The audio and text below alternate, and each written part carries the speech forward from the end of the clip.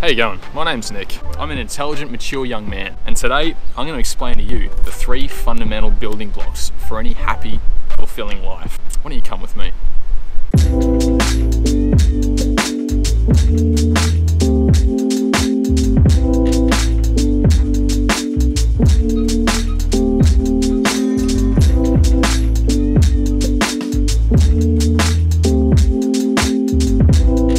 So much for attending my TED Talk. Now, today's talk is going to be covering what I like to call the three pillars of life, and I'm going to share with you today what the pillars are. So, pillar number one, your car. It might seem basic to you, but there's a lot of value in this in this four-wheeled machine. Pillar number two, your job. Everyone has a job, I know, but you know if you have a job coupled with the other two pillars, that's when you start to make some real progress. House. You know, everyone has a roof to sleep under.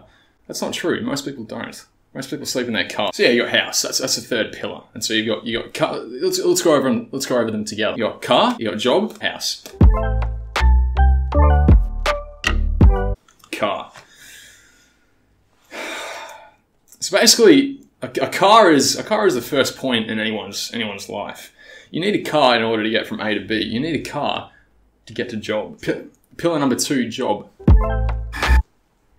Now, job provides income, provides money.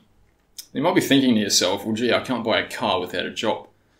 Well, you know, I had the same problem. You do whatever you can to, in order to save some money to, to buy the first car, whether it's, you know, begging on the street. I mean, I never sunk that low. It can be a shitbox. As long as it gets you from A to B, as long as it can get you to a job, which takes you to pillar number two.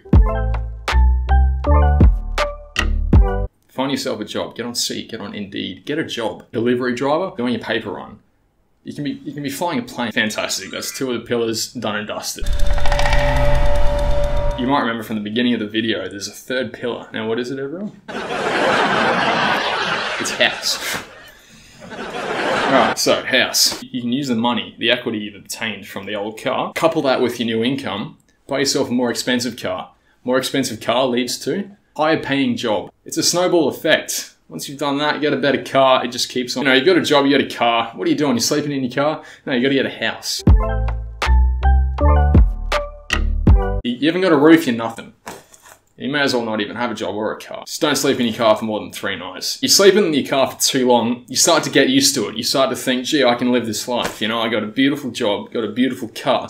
You need a damn house, right? It doesn't matter whether you share it, doesn't matter, it doesn't matter whether you have your own house. You need a house, right? So go and get on flatmates.com. Now, me personally, I I said I'm living with my father. Look, yeah, things didn't go so well in my last place, and so I had to move in. I had to move back in with uh, with dad, and I'm very grateful. I was sleeping in my car. I wasn't, but I would have if he hadn't have offered me his place. I've been there. I've sunk to the depths of of zero pillars. You know, I've trust me, it's not a place you want to go. When you have your very own home, that's when you that's when you achieve true happiness. You know why? Because you've got you got car, you got job, and you got home. Now go and you know, get yourself a home with a garage. Somewhere you can store your beautiful car. You, know, got a you got a beautiful, pristine car. You turn up to your job, your boss is impressed. He might give you a promotion. Look, it's all about risk versus reward.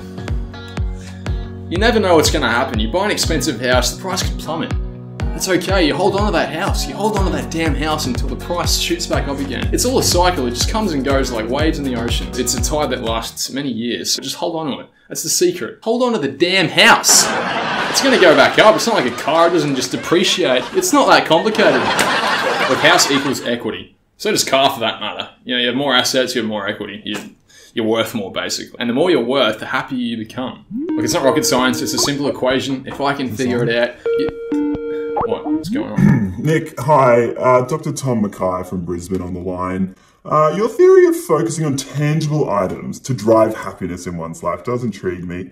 However, with that must come a series of market-dependent factors that surely must shape the fundamental stability of these pillars. For example, what would you consider the main macroprudential tools? Um, you know, managing housing booms in a volatile market such as Perth, particularly with respect to maintaining the integrity of your housing pillar. And how are these implemented within your theory to ensure sustained happiness anyway? Said tools, you know. Ah, ah. You need a you need a third pillar. You got a roof living. Get yourself a damn roof.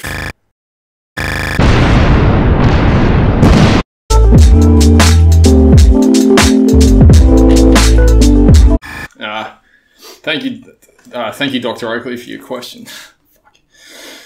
Look, I'm not an expert on the housing market. I'm sorry, but you know, I'm, I'm going to try my best to answer your question. Basically, Jay, I don't think you're grasping the, the concept of the pillars, especially the third pillar, which is house.